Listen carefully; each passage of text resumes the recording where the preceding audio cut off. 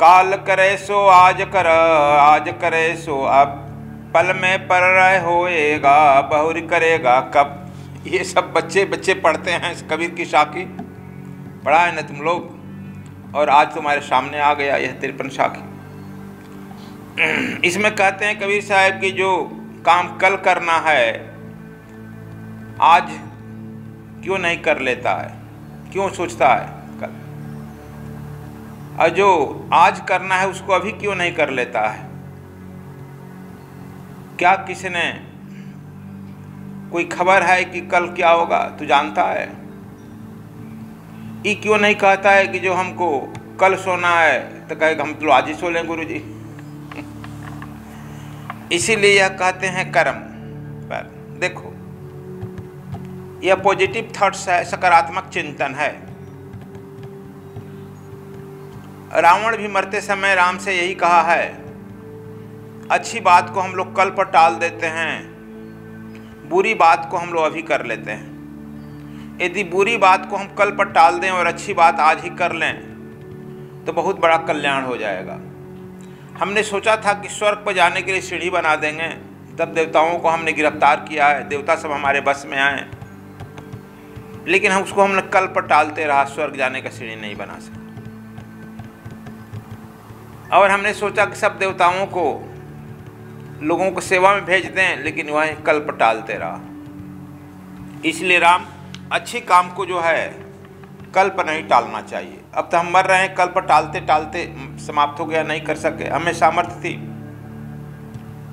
इसलिए देखो, आपकी जो है चेतना, जैसा चाहो वैसा विकास कर सकते हो। आप में चैतन्य शक्ति है। जब आप अपनी चेतना ठीक ठीक विकास करेगा परमात्मा के लिए, तब आपके अंतकरण से ज्ञान और वैराग्य का चेतना आएगा। और ज्ञान और वैराग्य का दो पंख जब में आप निकल जाएँगे, तब उस परम पिता परमात्मा के लिए वह दोनों पंख आकाश में, अनंत आकाश में उड़ जाएँगे। और जब अनंत आकाश में उड़ जाएँगे, तब वहाँ जो है, आप जो है उस परम पिता परमात्मा को प्राप्त कर लेगा। कहते हैं कि वह प्रारंभ थोड़ा कठिन हो जाता है। लेकिन हम उस चेतना में निकल सकते हैं। क्यों? पाँच वर्ष के बाद क्यों नहीं? अभी क्यों नहीं? शुभ काम में हम लोग सोचते हैं कि थोड़ा बूढ़ा हो जाएँगे, तब थोड़ा और हो जाए तब और हो जाएगा, तब। है ना जी? सोचता है राकेश। आज नहीं, कल कल नहीं, परसों परसों नहीं कर सो यह सोचते हैं शुभ काम के लिए। अशुभ काम के लिए नहीं सोचते हैं। कमाल भाई तो निकल गए। सुखदेव जी भी निकल गए। निकल गए। सुखदेव जी भी जन्म लिए चले गए। और यही कहानी गुरु जी की सुन रहा था मौलाना सुरदीन। उसको भी अच्छा लगा। एक बैंक का मैनेजर भी सुन रहा था। उसको भी अच्छा लगा कि तो बड़ी बात है। कल करे सो आज कर। क्यों ना हम अपने बैंक में लिख देंगे जो जिसको कल एफडी कराना है आज ही करा ले। जिसको कल के लिए पैसा जमा करना है, आज ही जमा कर दे। हमारा बैंक का डिपॉजिट बढ़ जाएगा। और हमारे यहाँ के अधिकारी जितने वर्ग हैं, कर्मचारी जिसको कल अकाउंट पूरा करना है, आज ही पूरा करके चला जाए अकाउंट सब ऑडिट हमारा हो जाएगा। उसलिए वह भी अपने बैंक में लिख दिया, कल करे सो, आज कर आज करे सो या पल में पल रहे होएगा बहुर करेगा। क्या लिख दिया। वह देखकर मुला नासरुद्दीन भी अपने घर जाकर लिख कर टांग दिया। पाँच दिन के बाद मुला नासरुद्दीन आकर बैंक मैनेजर से खूब झगड़ा करने लगा। कि बैंक साहब मैनेजर आपसे हमारा मित्रता था, आपको देखा देखी हम लिख दिए। तो गजब हो गया हमारे घर पर तो क्या हो गया? हमारे घर नौकर जो है, रहता था, पढ़ता था इस बात को, वह जो है, पत्नी से बात किया, कल करे सो, आज आज करे सो, हम तो क्यों हम लोग कल भागेंगे, आज ही भाग चले? वह पत्नी को लेकर के सर हमारा आंदोलन लेकर के आज ही भाग गया।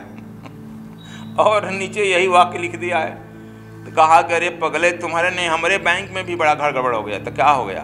देखो तो बैंक में जो कैशियर था, और एक और लड़की रहती थी बगल में असिस्टेंट वे दोनों जो है पूरा कैसे लेकर भाग गया कहा कि कल क्यों भागे? जब भागना है ताजी भाग जा। कि हमारे यहाँ भी तो हो रहा है। देखो। तो यह जो है हम लोग, अर्थ अपने साइड लगा लेते हैं ना।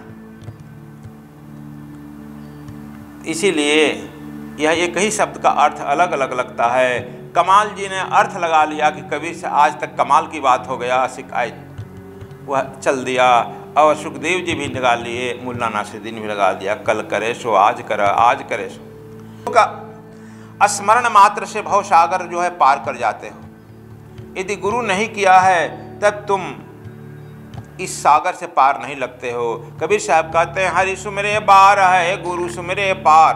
यदि तुम में हरि का स्मरण कर रहा है तो तुम केवल यह समझेगा कि मैं उस भवसागर से मुझे पार लगना है। लेकिन भवसागर से पार लगाने की टेक्निक किसके पास है? तो वह गुरु सुमरे पार। जब गुरु का स्मरण करेगा तो इस भव रूपी सागर से पार करने की टेक्निक बता देगा और साथ ही एक बेड़ा लाएगा, उस बेड़ा पर बैठा करके आपको पार कर देगा।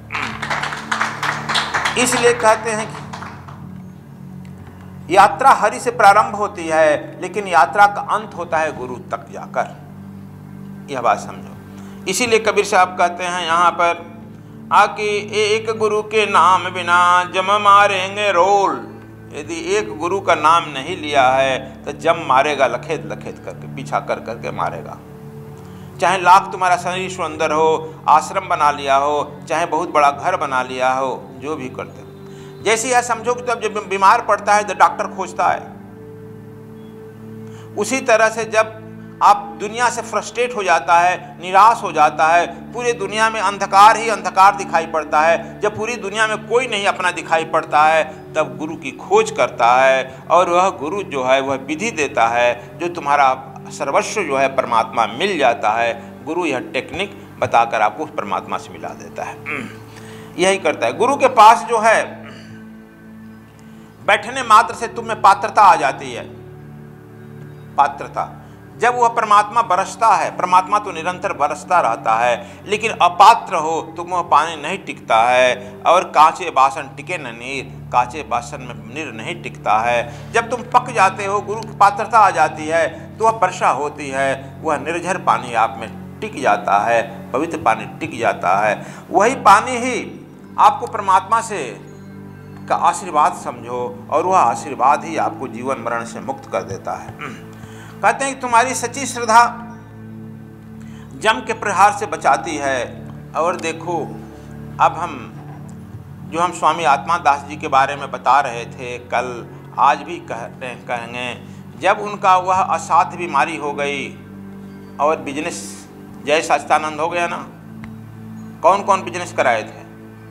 एक पहले नौकरी दूसरी पहल, दूसरी वैदगिरी तीसरी फिर मास्टरी अपने घर पर, तीन, चौथा जो है घोड़े का व्यापार, और पचवा फिर दूसरे बार घोड़े का व्यापार।